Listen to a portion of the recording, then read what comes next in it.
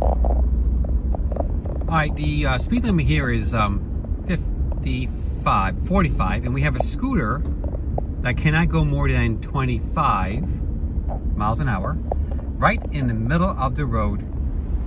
Just simply, look at that guy there. He really took a chance here. And he thinks he can simply, look at all, look at this, look at this, look what he's causing. Do you see that? Why aren't these people getting ticketed? They're hindering the flow of traffic. Is this a joke? I mean, really, look, look at that car there. Look what's going on here.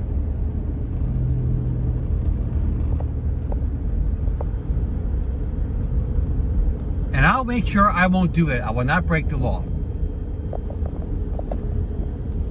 So why are these people, who do these people think that they could actually do this and hinder the flow of traffic?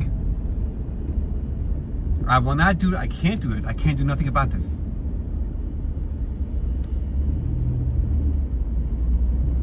Because I don't want to be accused of causing any problems. I can't even give him three feet because if I give him three feet, because he's not on the side of the road, I'm over more than three quarters of my car in the other person's lane. I cannot legally do nothing. Nothing. I can't do nothing right here.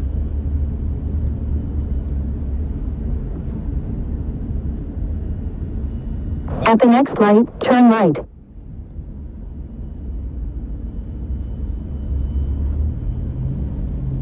This is what's going on here. Um, these people, because if I hit them, or if someone hits them, we're, we're the ones who are re responsible, right? So here he's got a chance to go to the right, into the median here, I'm sorry, to the right shoulder here, and give us a chance to pass him. I can't do anything about it. Now that I have a second lane,